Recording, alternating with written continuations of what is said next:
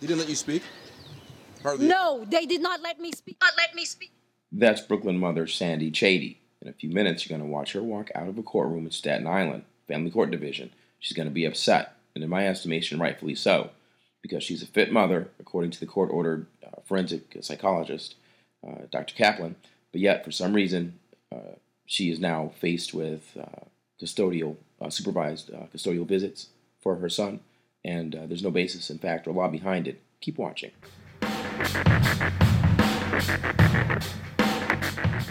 Down in Brooklyn, I wish Sandy Chadee all the luck in the world in her pending federal appeal against Judge Deborah Silber, as well as law guardian Rita Kaufman. Uh, these two women have conspired uh, in a manner that I deem to be criminal to keep a child in a dangerous environment.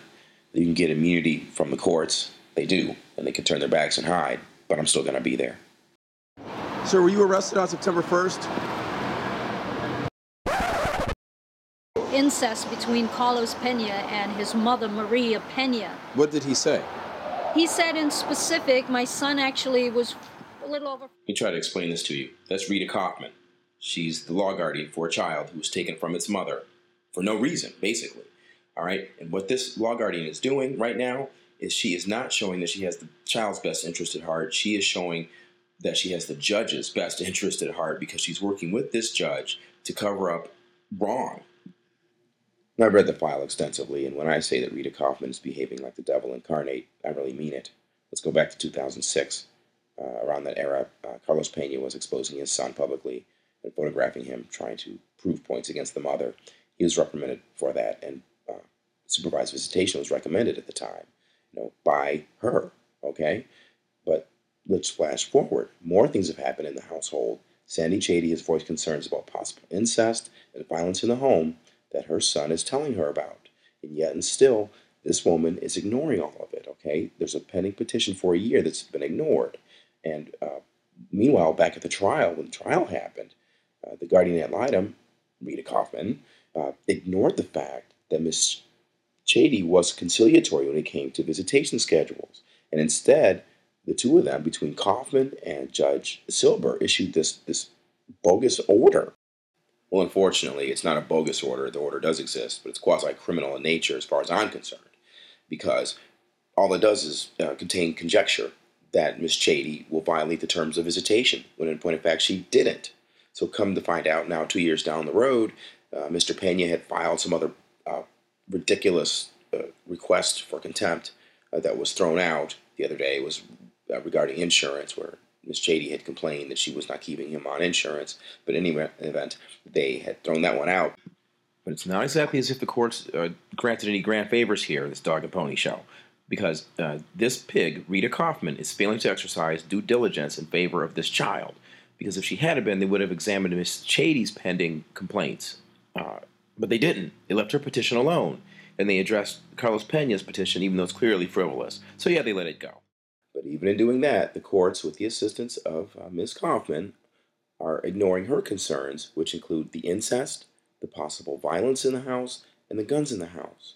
All they have against Miss Chadee is the fact that she's not yet married to this man and that she allegedly assaulted Mr. Pena or harassed him on September 7th of this year when I was present recording, asking him about his arrest the week prior. It's ridiculous. Not only that, don't forget the fact that he was the one who was ordered to pay child support. Oh, but wait, there's more. There's an allegation now that Carlos Pena has not kept the child on uh, medical insurance as he's supposed to. So that's yet another issue uh, for Mr. Maturity. it doesn't make any sense. These women have basically made Sandy Chadee into a surrogate mother. Now they're offering her potentially, uh, what do they say, supervised visits why? What has she done wrong to merit this type of punishment? That she would only get supervised visits with her child? Nothing. And then they threaten to, oh, keep it that way unless she takes down information on the internet. So wait a minute. Now they're going to try to pimp out her First Amendment rights to discuss this situation by giving her what she's owed already? It doesn't make any sense. She's not going to stop talking about it. I'm not going to stop talking about it. We're going to see where it goes. That's how it works. Last month, Carlos Pena filed a bogus claim of harassment by Sandy Chadee and me. And how do I know that it's bogus? Because we're standing at the police station when it happened, or when it allegedly happened. and he said nothing. To going to to. Really, officer? What, was she gonna flee on foot wearing these? Come on.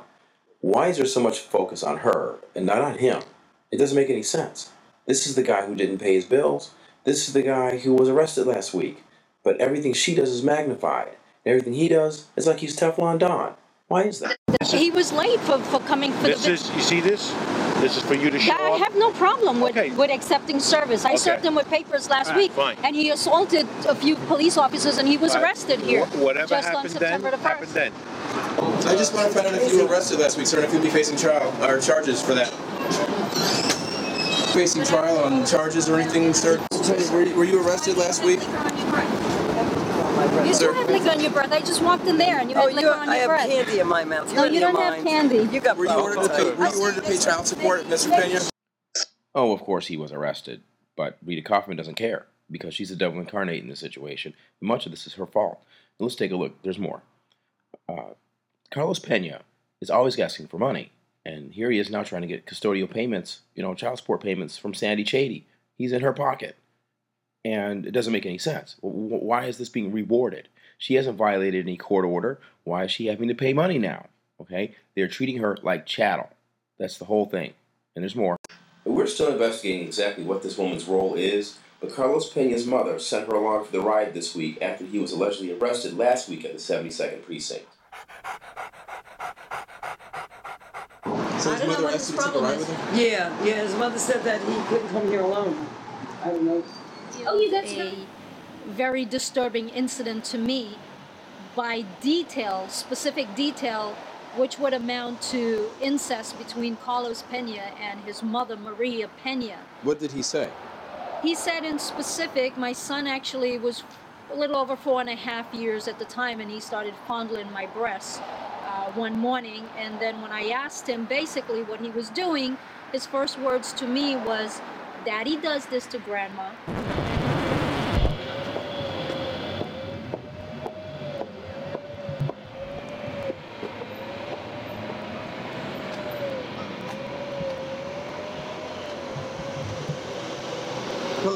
Did you actually file a complaint against me for harassment? Sir, were you arrested on September 1st?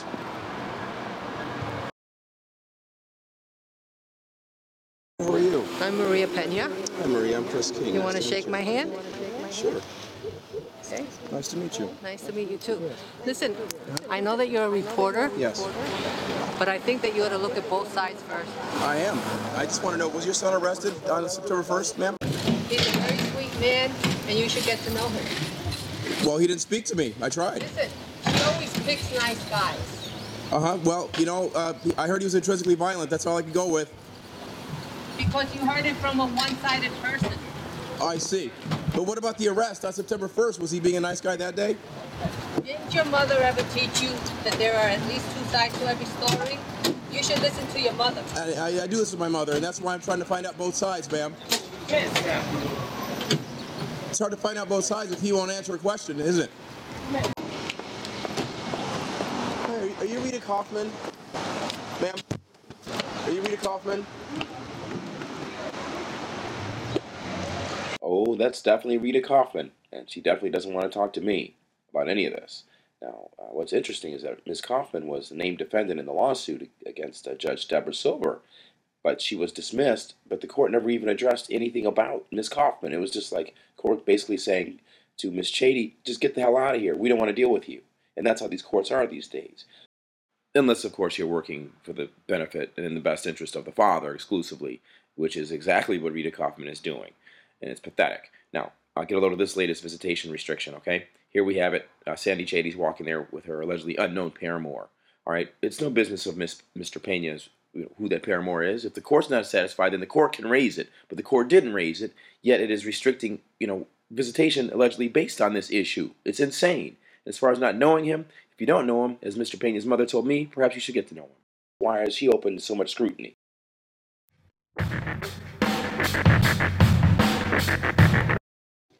He didn't let you speak?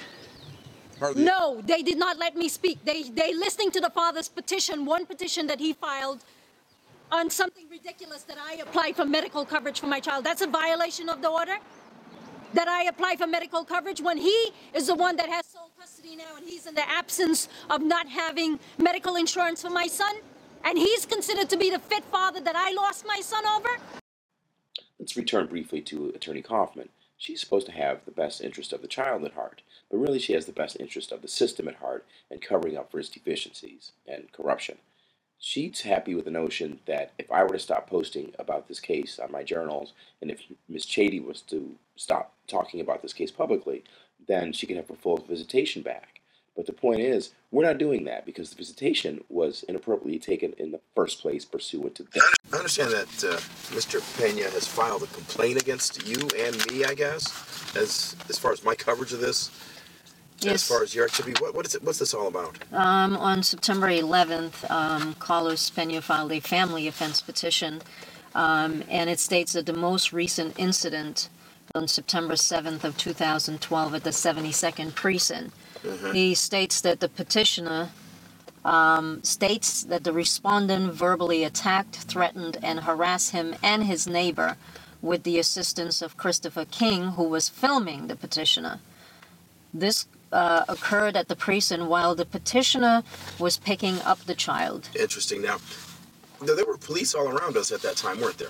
Yes, there were. And did you at any point in time see Mr. Pena ask the police for assistance? No, he absolutely did not, not even once. The and in short, there were many details, but it was just too logical and coherent.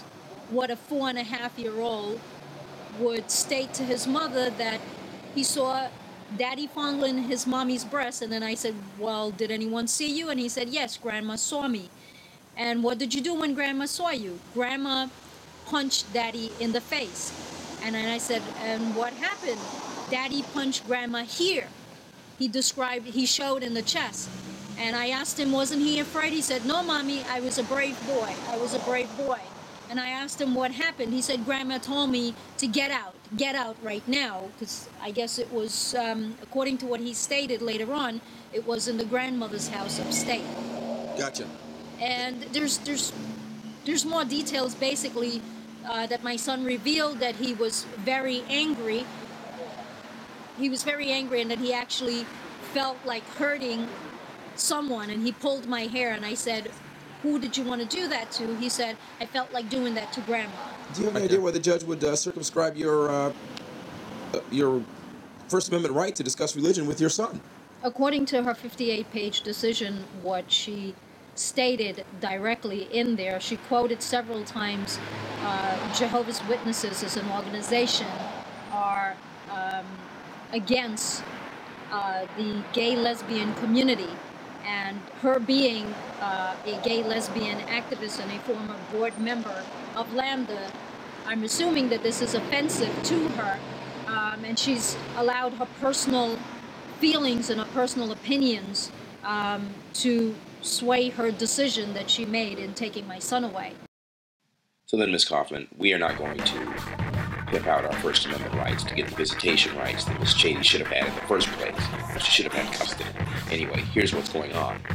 Uh, I'm going to watch this thing develop and watch him try to prove any sort of harassment because the keeper of grounds yesterday specifically held that what I was doing was not illegal or harassing. So there you go.